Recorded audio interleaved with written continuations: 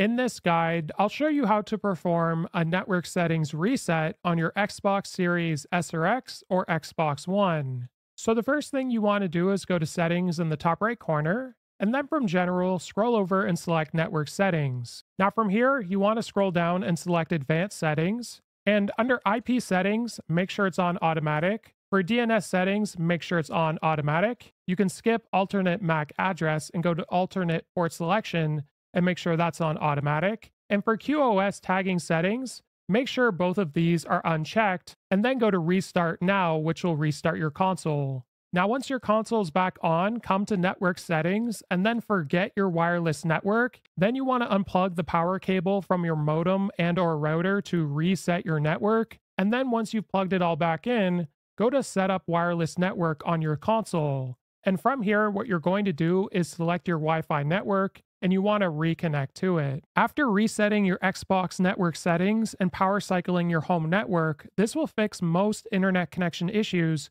you may experience with your Xbox. This guide was helpful. Like and subscribe, and we'll see you in the next one.